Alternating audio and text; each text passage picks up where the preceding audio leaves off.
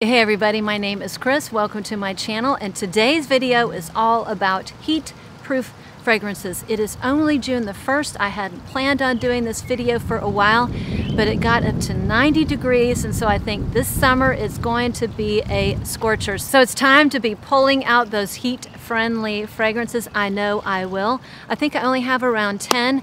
Now this is not a complete list because I plan on doing a separate video on niche fragrances for the summer and clean fragrances, cleanly formulated. I've had I have had several of you ask me to do video or videos about clean fragrances and I have an enormous amount of clean fragrances so I can do videos on that. So these are the remaining fragrances. Fragrances, perfumes that I have worn in times past that I think do well when it is scorching hot like the 90 degrees that it is today. So if this is your type of video, please stick around and if you have any fragrances that are great for the hot weather, let me know in the comments below and with that let's just get started. So if you are new to my videos, I try to run the gamut with regards to price point. I tried to include all price points. I have subscribers who are really into their highfalutin, their fancy niche fragrances, and I have a lot of subscribers who have a more limited budget and are more interested in the budget friendly options. I'm going to start with a budget friendly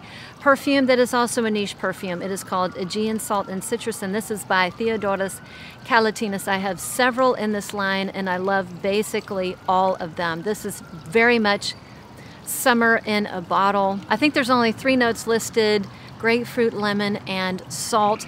And to me, this just smells there's also something a teensy bit woody, maybe aromatic, maybe pine needles in here. But this to me smells like you are riding around in a boat somewhere and you just finished an iced tea that had a lot of lemon in it. You drank the iced tea and whatever's left in the glass is diluted with those ice cubes. So it's like a dil very diluted lemon heavy tea, maybe with a rim of salt or a diluted lemon heavy tea and you're riding around in a boat and you're getting splashed with water, like seawater. So it almost has a sea mist vibe to it. Very, it's beachy without being sunscreeny. There's something very oceanic about it. So I think that the the name is very appropriate. It smells kind of like salt water, but without that seaweed note. I cannot, I don't like the note of seaweed fragrances that have that note in it, we don't get along. So this is actually very nice, very fresh. And if I didn't say already, this is priced, I want to say 45, 50 euros. I've always been really, really happy with the customer service at this line. The next one, in my opinion, is misnamed. So this is Vetiver d'Hiver, which in French means winter, so winter vetiver. This is a summertime fragrance, in my opinion. I mean, you can wear this in the wintertime, but the way the notes are composed, it just reads hot summer day. In fact, we bought this when we were in Italy. We were in Firenze, and it was a scorching hot day. We popped into the Giorgio Armani boutique. I actually wanted to, I wanted to sniff some of the new releases of Giorgio Armani, and they just weren't doing it for me. And maybe it was because I had a little bit of headache and it was super hot and we went back to this fragrance and this was the fragrance we liked the best both me, myself and pat and the sales associate at the store said it was his signature scent. It was the scent he was wearing that day. I will say it wears lightly and i know at least pat kind of goes anosmic to it at hour two or three. He says he can't smell it. I can smell it on him. It is one that we share. In fact i wear this more than he does. And i think it's a very unisex vetiver fragrance. Vetiver tends to be in more masculine leaning fragrances, but this is very unisex in my opinion. It's got a little bit of spices, so it's got like some pink pepper, it's got cardamom, and lots of citruses, at least three different type of citruses, grapefruit, lemon, orange, you know, something really, really bright. And it has a nice dry grassiness to it, but it's accompanied by those other notes. So it's not an overwhelming, you know, vetiver can smell almost musty sometimes. This does not go in that musty kind of zone because it's got those bright kind of zestier, peppier notes. So a great one in the hot weather. So I tend to really like the note of mint in a fragrance. I find it very refreshing and relaxing. So I like it in spa products and I like to wear mint I like to have mint in fragrances in the summer because I find it very refreshing. And I love it in this fragrance by ELDO. So they really kind of nailed, if I can spray it, the mint julep in here. Ooh, this is so good. This is so photorealistic. So this is mint julep. So the mint in here is super realistic. It smells like the mint that grows wildly in my backyard, right way over there. It grows wild. It just goes grows wild and out of control and I like to make mint ice cream, but it's quite delicious. So you've got that, my mouth is watering again. You've got that mint julep and a little bit of green grassiness. So it's green minty and green grassy. And this one never goes into the toothpaste zone or mouthwash, which is kind of the kiss of death for a mint fragrance, in my opinion. And as it dries down, it has a really nice, kind of a fresh, slightly aquatic, I would call it watery, watery musk. So those notes just play so, so well together. Delicious, great in the hot weather. Another budget friendly option is one, is a good one for casual day. Uh, this I would call this a white t-shirt fragrance. It is by CK1. I think this is CK1 Gold and this might be marketed towards men, but I definitely think it's unisex or a great shared fragrance. I think this has fig in it but I don't get a heavy fig. This is a fresh, citrusy fragrance that has lavender, but I definitely get a, a fresh, slightly sweet, citrusy fragrance with a sweet lavender. Maybe, okay, maybe I'm getting the fig in the background, a sweet fig. So really, really nice, bright. I, I wanna say I paid 35 bucks for this enormous fragrance. And it's nothing groundbreaking, but it is a fabulous fragrance for when it's really, really hot and you need something easy, grab and go. That's on the casual side. I will go for this one because it's not stellar in longevity, but it's just a nice, light, easy wear that is easy on the pocketbook. CK Gold, CK1 Gold. So the ultimate Summer Drink on a Hot Day is by Simone Andreoli, Malibu Party in the Bay. You guys have seen me show this a million gajillion times. It is another terrific unisex fragrance. This is a Caipirinha. This is a very lime forward fragrance. It's got a lot of lime, green notes, sugar cubes. It's delicious. This is a more budget friendly version of Creed's Island Water. So if you like Creed's Island Water, but you get palpitations when you look at the price tag. This is at least less than half. It's still not it's still not a total budget perfume, but it's less than half that. And this has amazing lasting power for a citrus fragrance. This checks all the boxes. It's more budget friendly and it lasts a lot longer. And I personally like it better. And this is another one that Pat just loves. This is absolutely delicious particularly if you like lime mixed drinks and summer in a bottle on a hot day. Okay, the next one was almost on the chopping block. I got it out to film my coconut video and I hadn't worn it in a long, long time and I thought, why do I have it if I don't wear it? And I wore it again and loved it. I thought, wow, I don't remember loving this one as much as I do, but it is delicious and it is. Maybe my tastes have changed since I bought it but is the House of Sillage this is Mickey Mouse. This was an okay. This was this was a like when I first bought it maybe a couple years ago. Now it's a love and it kind of reminds me of a little bit of my Estee Lauder bronze goddess eau fraiche because there's an amberiness to it. This is like a salt a slightly more salty or saline version of Estee Lauder's Bronze Goddess because it has coconut, like a coconut nectar, coconut, trying to find my bladder, coconut net, nectar, coconut milk kind of a thing going on.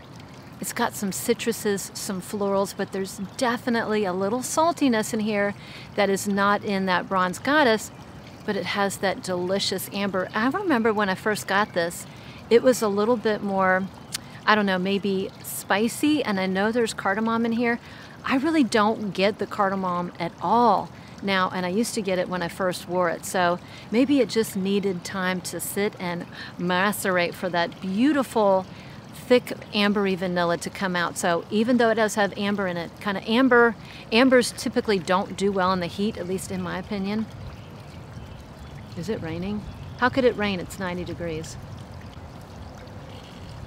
Oh my gosh, it's been a sweltering hot day and now I see a, an ugly cloud there. I'm gonna try to trying to get through these. Hopefully I'll miss the rain because it was literally a scorching, it was literally scorching hot up until about five minutes ago and all of a sudden it's kind of breezy. So it might rain on me, we'll see. But this one is a perfect one to wear in the summer on a hot, hot day, as long as you like coconut, little coconut amber, a touch of florals, a touch of citruses. It is beautiful. And again, as far as longevity, I would call it moderate. None of these are going to be powerhouses. If they were, they probably wouldn't wear as well in the sweltering heat.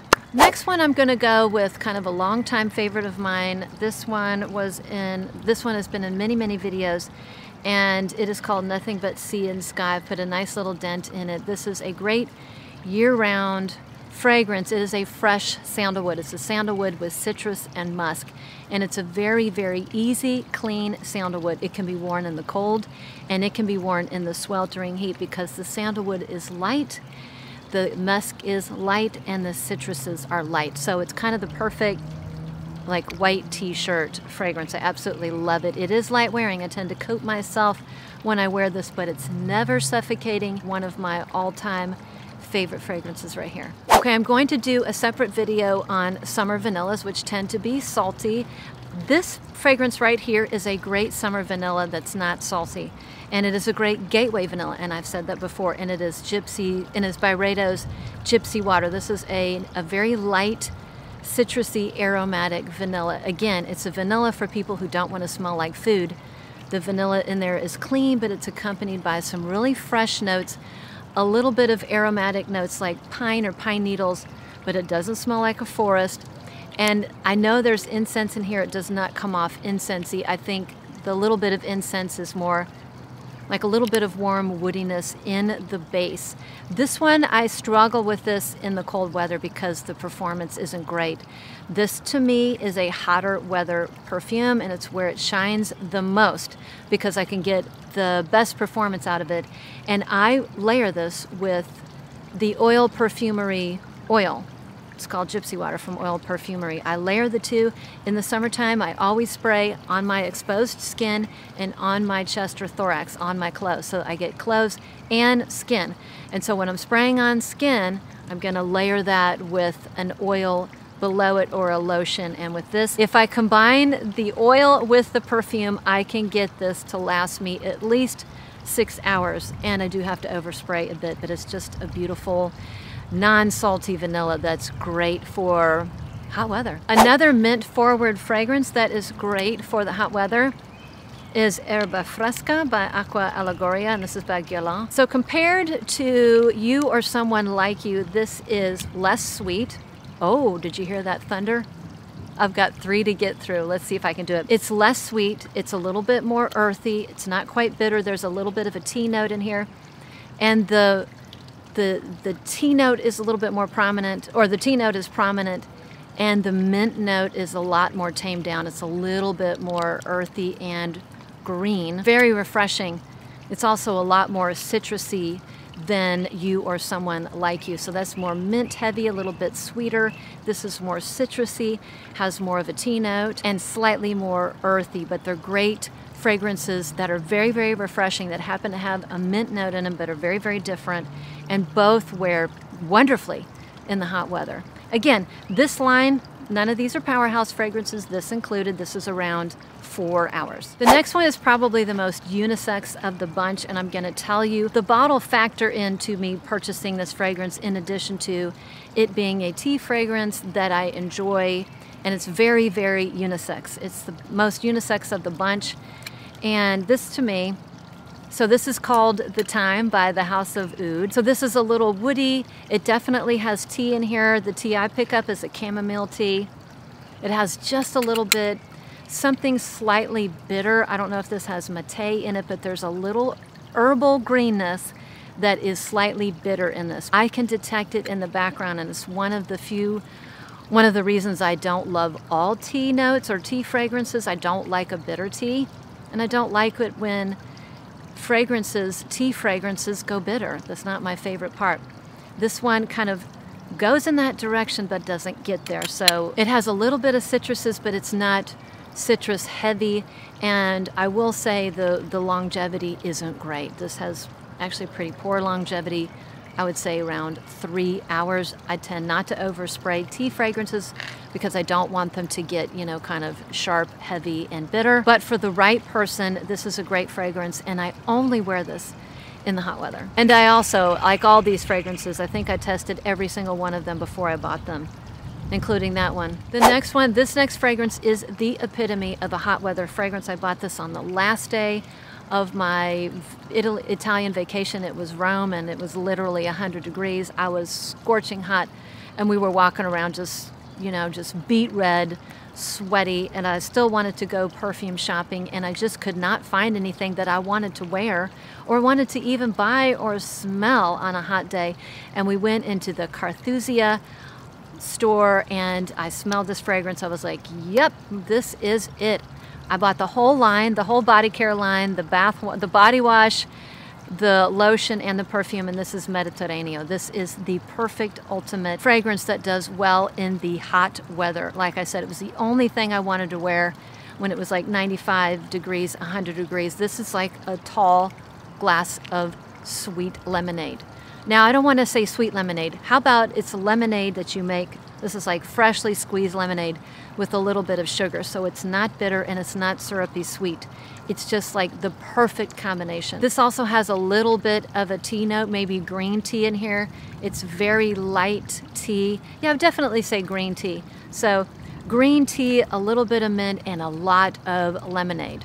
So maybe you mixed like 80-20 lemonade to a green tea with a little sprig of mint, you would come up with this uber refreshing. It is light wearing. One of the reasons I bought the the whole body care line because I wanted to improve the longevity. But listen, if you want to wear a perfume and it's 95 to 100 degrees, you're probably not going to want to wear a fragrance that's heavy and suffocating. So this is great you know, it's small enough you can re-spritz it, reapply, or just just have a light scent bubble and not have a fragrance that lasts all day. But I absolutely adore this and one of the best hot weather fragrances around my Mediterraneo. So that was it, fragrances that I think are fabulous in the hot weather. I'm gonna do another video for cleanly formulated fragrances that are great in the summer.